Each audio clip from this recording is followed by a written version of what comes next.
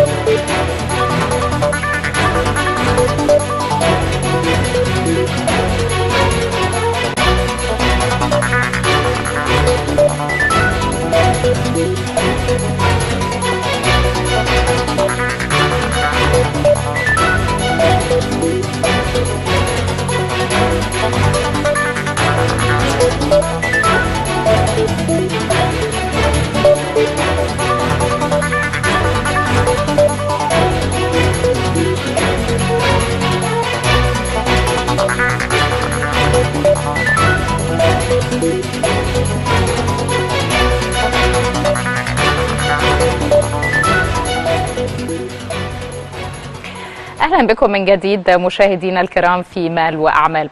لا شك أن قطاع البترول استعاد عافيته بشكل قوي وحقق خلال السنوات الأربع الأخيرة نتائج متميزة في مختلف النشاطات البترولية. طبعا لذلك أسباب كثيرة منها الاستقرار السياسي والأمني في البلاد وأيضا الإجراءات المتخذة لتشجيع الاستثمار بشكل أكبر في البترول وأيضا الاكتشافات العظيمه التي حصلت في هذا القطاع في الشهور الأخيرة. سنلقي الضوء على تفاصيل أكثر مشاهدينا الكرام مع ضيفي الليلة الذي يشرفنا معالي المهندس عبد الله غراب وزير البترول والثروة المعدنية الأسبق. مساء الخير معالي الوزير وشكرا لتشريف حضرتك كل سنة وحضرتك طيب. أهلا بك. خلينا في البداية نشوف تقييم حضرتك بشكل عام لأداء قطاع البترول في السنة الماضية؟ يعني أنا شايف الحقيقة إن في في أحداث كتيرة جدا في قطاع البترول. في نتائج اتحققت يمكن بقى لنا سنين منها حقل زهر منها حاجات تانية يمكن ده أكتر حاجة الناس شايفاه. آه تأثيره إيه؟ استثمار البترول على معروف دايما إن هو استثمار فيه مخاطرات واستثمار على سنين طويلة. المستثمر مش هيجي حتة إلا لو كان مطمئن تماما إن هو قاعد هنا. مستثمر البترول بيجي يصرف مليارات الدولارات. آه بيسترد استثماراته هو كمستثمر وأنا مستفيد على مدى 20 سنة اوقات 15 سنة. فلازم يكون شايف إن الأمور ماشية من البداية لغاية ما يتصور عدد السنين اللي هيقعدها هيكون الأمور بالنسبة له واضحة. هي علاقة طويلة الأمد. يعني. علاقة طويلة الأمد لا تحتمل تغيرات بقى سياسية تغيرات أمنية. فأنت كل اللي حصل السنة اللي فاتت الحقيقة إن تم التأكيد بالكلام وبالممارسة وبالفعل إن مصر دولة مستقرة آمنة قابلة آه للاستثمار. يمكن الناس إحنا بنتكلم من 2011 ويمكن قبل كده شوية حصل نوع من الخلل. آه أنت قعدتي طمأنه للناس شكل الدولة ومضمونها. الحقيقة إن هو متغير تماما. لا النهارده مصر بقت مؤهلة تماما لل... لل... للتقبل الاستثمار. تقبل مش بس إنها عندك حاجة حد يستثمر فيها الجو العام. اللي أنا شايفه برضو الحقيقة من من نقاط يمكن مش كتير يشوفوها المسؤولين أو القائمين على الأمور عندهم هذه القناعة. ما بقاش في حتة إن نستثمر بس خايفين من المستثمر نستثمر بس الراجل هيجي يعمل لا إحنا إحنا بن, بن في سوق تنافسي كبير جدا. مصر عندها فرصة غير عادية النهارده في ظل الوضع الجغرافي اللي حوالينا. أنت أكثر الدول قدرة أكثرها استقرارا. انت المؤهله النهارده انك تعملي الكلام ده. يعني فانما اللي أنا شايفه من المسؤولين ومن ال ال الكلام ومن الطريقة ومن الفعل ان لا يعني في تغيير في في, في مضمون الرساله مش بس ال- الشكل. ممتاز. كان طبعا في زيادة واضحة في إنتاج الغاز الطبيعي في 2018 أم، خلينا نعرف حضرتك بشكل أكثر تخصصا إيه الأسباب اللي أدت لده؟ أنا يمكن اتكلمنا من دقيقة على التوجه. أنا هتكلم على حقل زهر بالتحديد. أوكي. حقل زهر تم اكتشافه في 2015 ما فيش من يعني من قريب جدا. سبتمبر 2015 بالظبط. حقل زهر أنا راجل مهندس بترول. وكل من هم في صناعة البترول يعرفوا تماما حقل زهر بهذا الحجم بهذا المكان الجغرافي. تتكلمي على 180 كيلو داخل البحر. في عمق ميه هذه مياه عمق عميقة ميه أصعب ظروف ممكن تنمي فيها. حقل اللي زي حقل زهر في أي حتة في العالم ياخد خمس سنين. بلا حقيقي. مبالغة.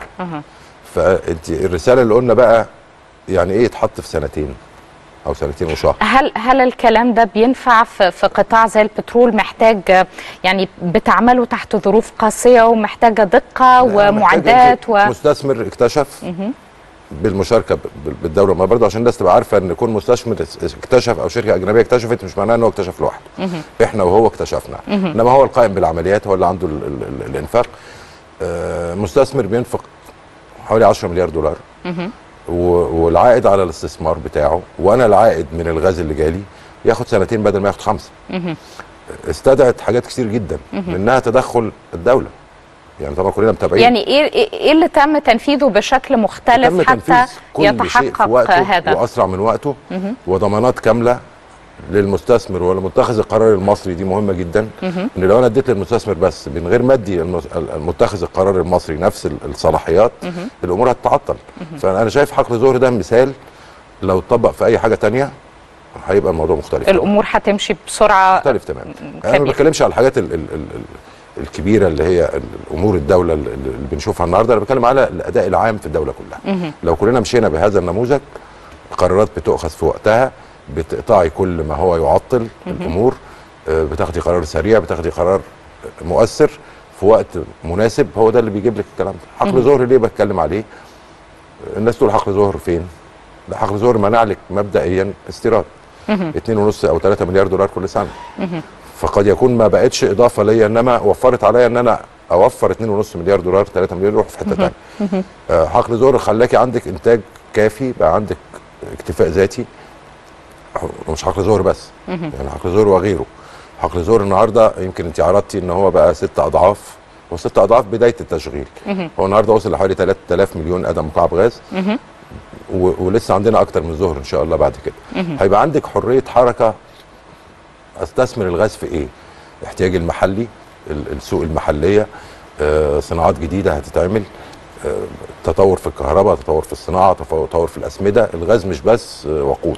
طيب إحنا آه، الآن كما أعلن الوزير آه، طارق الملا إنه عندنا اكتفاء ذاتي من الغاز.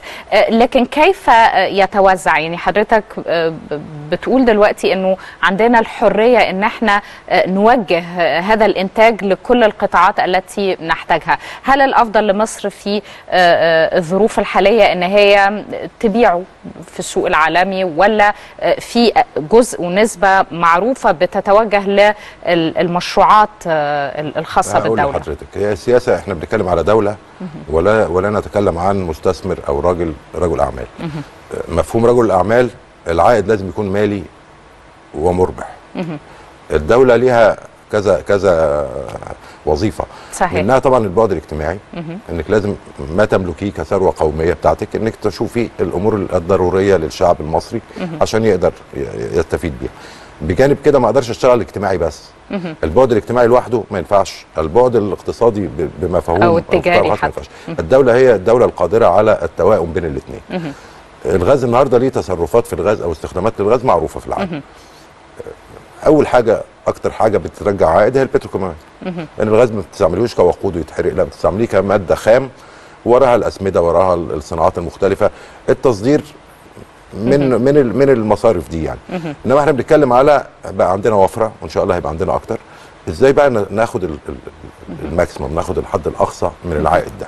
لأن هو ده مفهوم الثروة القومية. الثروة الطبيعية في دولة مش زي ما عملنا مثلا 20 سنة قبل كده وبتاع الثروه القوميه دي ابيعها رخيصه في الشارع. فقدتي قيمتها. وفقدتي الهدف منها إنها تبني دول. جميع الدول اللي حوالينا. قبل اكتشاف البترول حاجة وبعد اكتشاف البترول حاجة. صحيح. هي مش اكتشفت البترول راحت بيعها ببلاش في الشارع لا. هي اكتشفت البترول وعملت منه صناعات وعملت منه تنمية بقت دولة قوية. قادره قادرة تعيش. حضرتك كيف تقيم قطاع البتروكيميكالز في مصر؟ يعني إذا كنا نتحدث عن دول الجوار والدول الغنية بالنفط دول مثلا زي السعودية عندهم صناعة بتروكيميكالز قوية. أيضا في مصر لدينا آه، هذا القطاع موجود لكن هل عندك فرص أكبر؟ وعندك الإمكانيات وعندك كل متطلبات إنك يبقى عندك صناعة بتروكيماويات عالية جدا. عندنا بدايات ما أقدرش أقول ما عندناش.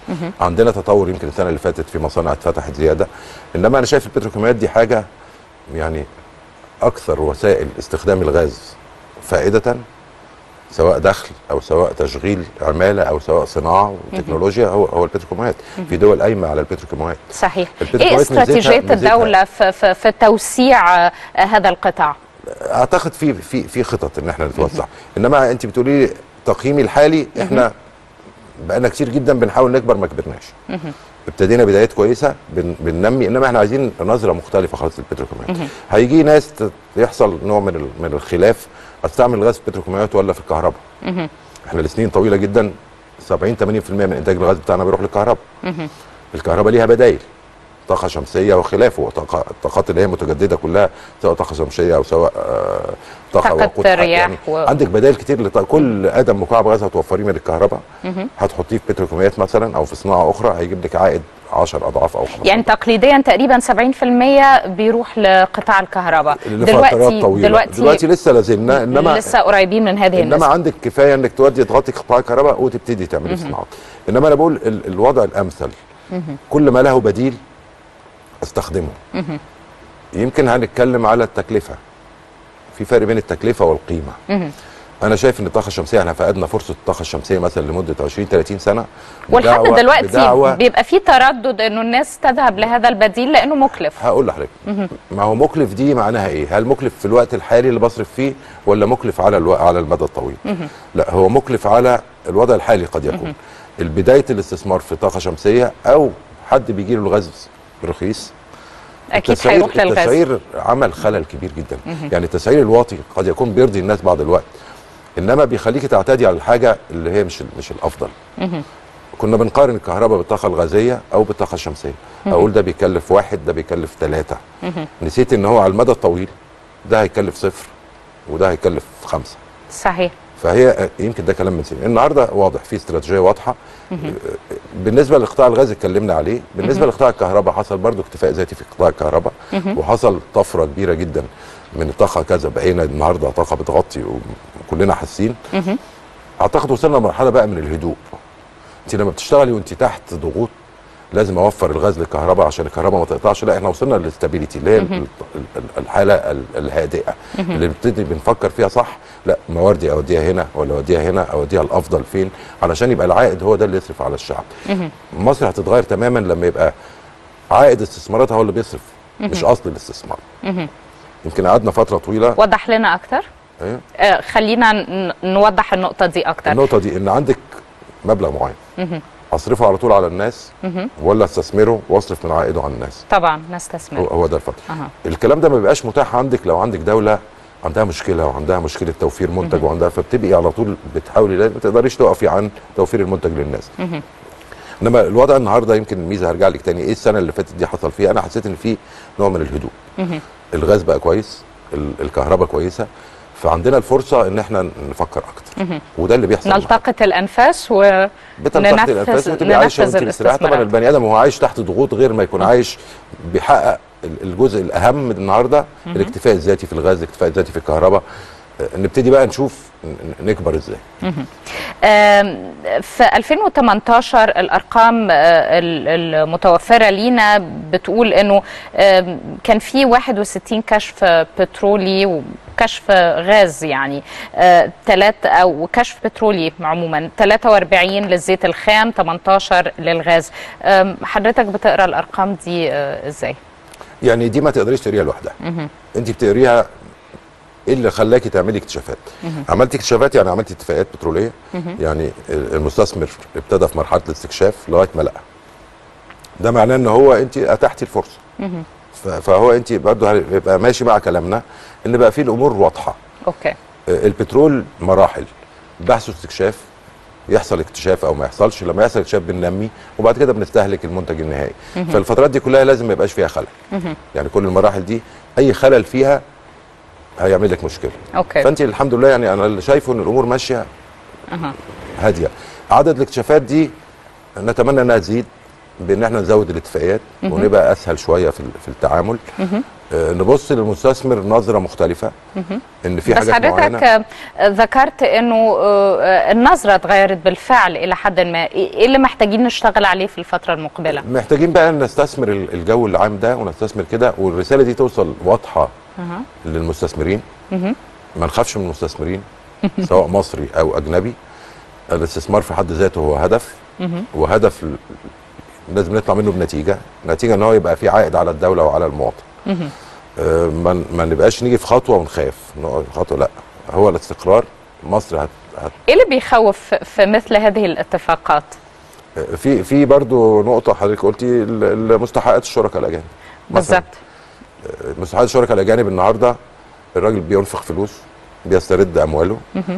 قعدنا فترة طويلة مش قادرين نرجع له فلوسه فبالتاكيد هتأثر على قدرته على ضخ استثمارات جديدة.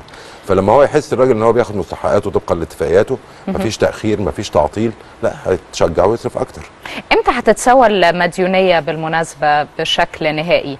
لا عمرها ما مع الشركاء الأجانب اللي هي كانت متراكمة كان في مبالغ متراكمة وابتدينا نسويها. وبين المديونيه تكوينها. تكوينها هو كل أنا أقصد ال- ال- ال- اللي كان متراكم في من سنين. مستحقات نسميها مستحقات بنسميها مديونيات لما تتأخر افسادها إنما مستحقات الشريك هو حقه في في حصته سواء في دي- دي مستمرة. أو كذا. فانت لازم دي عملية مستمرة كل يوم. يعني عمرنا ما هنيجي نقول ما خلاص ما عليناش مستحقات. لأنه طالما إحنا بننتج هو ليه حصص؟ إحنا السوق المحلي في أولوية بناخدها منه بنشتريها منه. اللي حصل في الفترة دي ما دفعتلوش ثمنها فتراكمت ال- ال- ال- المديونيات. إنما الأصل في اتفاقات البترولية ما فيش مديونيات الشريك الأجنبي بياخد حصته كإنتاج. وب- وبيتصرف يتصرف فيها, فيها. في فترات كنت بي بي بيصدر الخام حصته لأن النهارده بحتاج لها في سوق محلي وده ما يضايقنيش. كان بيضايقني ليه بقى؟ لأن أنا بستورد منه باخد منه حصته بدل ما يصدرها باخدها بأنهي سعر؟ باخدها بالسعر العالمي. ببيعها جوه السوق بأنهي سعر؟ السعر المحلي. فالجاب دي أو أو الفجوة دي كنت بستورد مثلا البرميل ب 100 دولار أبيعه في مصر ب 100 جنيه فبيحصل فجوة مالية بقى مفيش قدرة للدولة على سدادها مع مع اقتصاد كان كان مش مش مش كان غير مستقر. طبعا. هي كلها موضوع النهارده يوم ما الراجل الشريك حاجة من اتنين. يا بتدي له فلوسه على طول وبتاخدي منه. أو ما بتاخديش منه لو عندك وفرة. ياخد حصته. فمش هيبقى عليك أي التزام مالي. الأمور هتبقى أفضل كتير جدا. لما يكون عندك اكتفاء ذاتي مش معناه بس إن أنا بستكفي السوق المحلي. لا ممكن يبقى عندي وفرة. فيبقى بستكمل السوق المحلي من حصتي فقط. ممتاز. يبقى أنا كده وفرت كتير. آه طبعا آه، سنستكمل هذا الحوار لكن اسمح لنا آه سيادة الوزير نخرج لفاصل قصير ثم نواصل معكم. مشاهدينا الكرام نتوقف مع فاصل قصير آه ونستكمل بعده حوارنا مع المهندس عبد الله غراب وزير البترول والثروة المعدنية الاسبق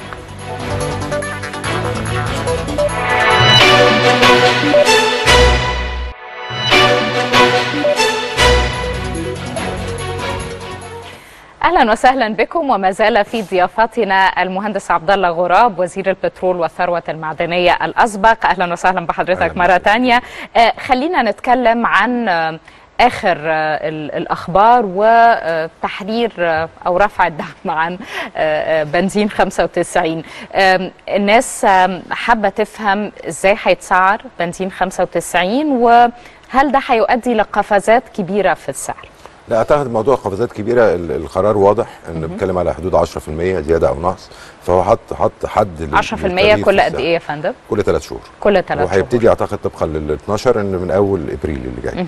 آه السؤال بسيط جدا بتسالي في أي حتة في العالم بيحدد السعر إزاي؟ مين اللي بيحدد السعر؟ لازم تكون جهة ويكون في آلية. الآلية إحنا عندنا في مصر كذا كذا عنصر. الجزء المستورد الجزء المحلي التكرير ال- المصروفات.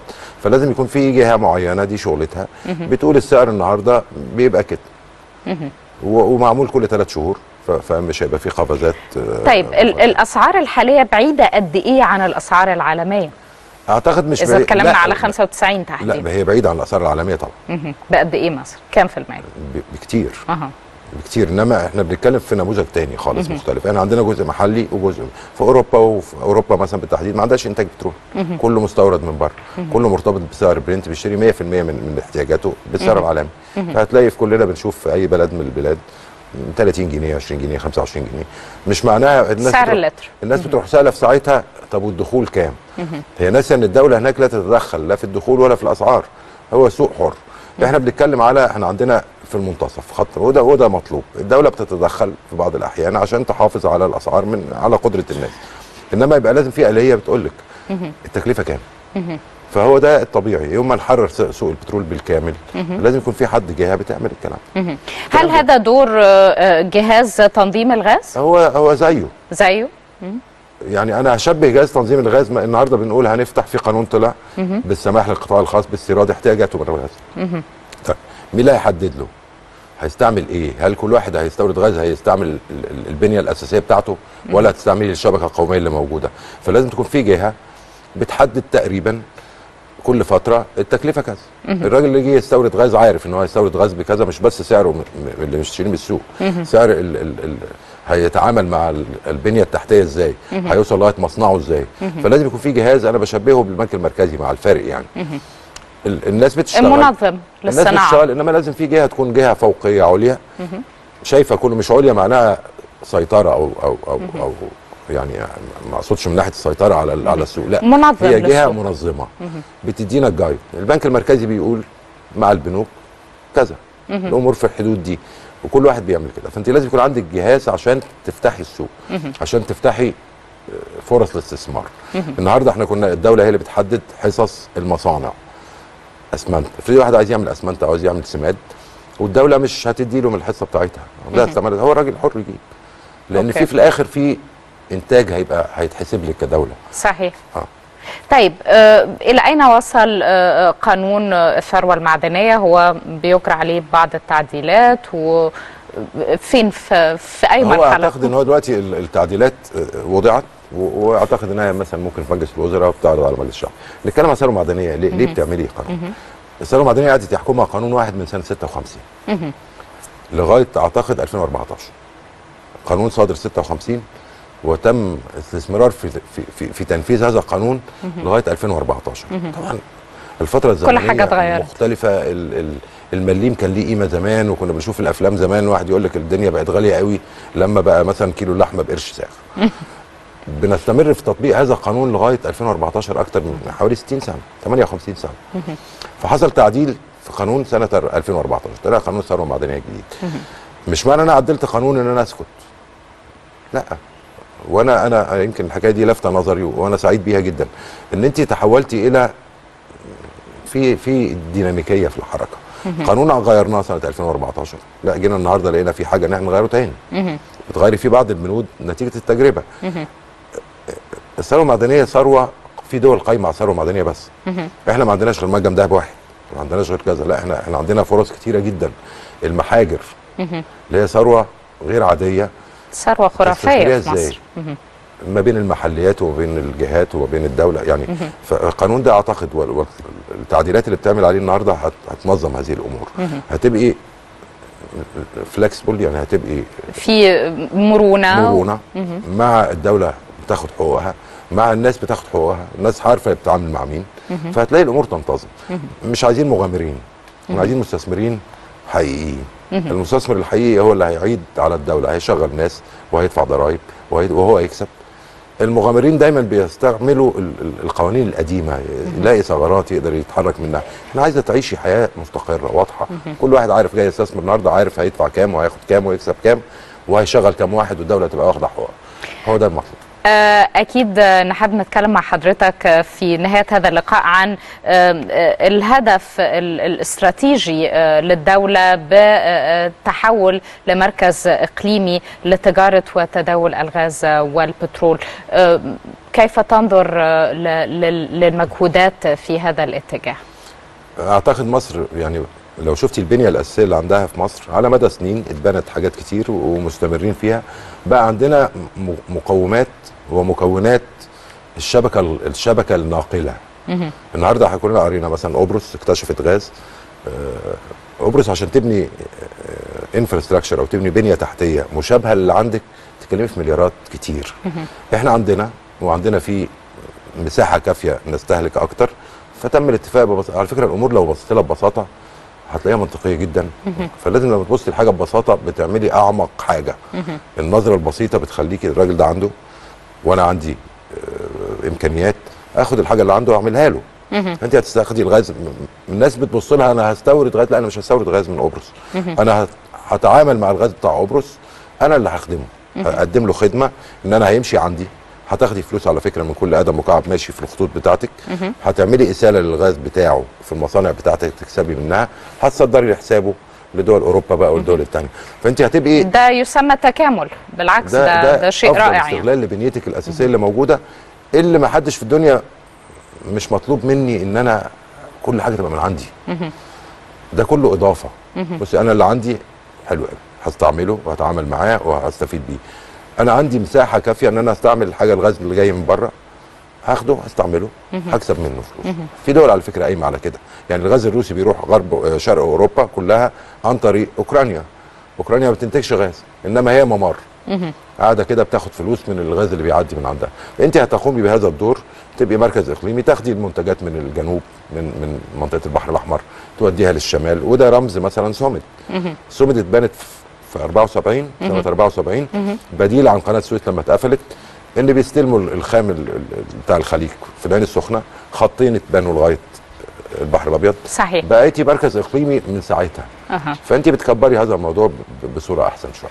أنا بشكر حضرتك على تشريفك لينا النهارده. آه، المهندس عبد الله غراب وزير البترول والثروة المعدنية ميرسي جداً. الأسبق. ألف شكر على شكرا الوقت. جزيلا لحضرتك. مشاهدينا الكرام آه، وأنا أشكركم جزيلا على المتابعة. أذكركم بأن حلقة الغد آه، سنعيد فيها اللقاء الذي أجريناه برئيس البورصة المصرية محمد فريد. أذيع الخميس الماضي طبعا لكن سنعيده لأنه بعض الناس طلبت أنه آه، آه، تتابعوا مرة أخرى. شكرا لكم ونراكم دائما على كل خير.